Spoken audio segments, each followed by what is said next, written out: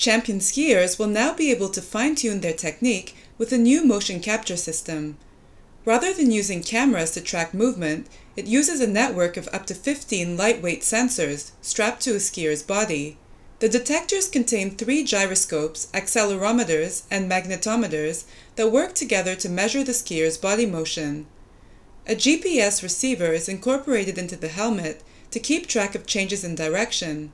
All this information is transmitted to a central hub on the skier's torso. Algorithms are used to calculate the skier's position on the slope and their skiing direction.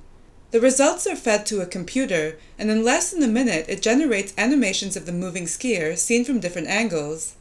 The colorful display also shows a skier's position, velocity, and acceleration as they tear down a slope. By watching themselves in action, competitive skiers can analyze how they could move seconds faster, and perhaps even win their next race.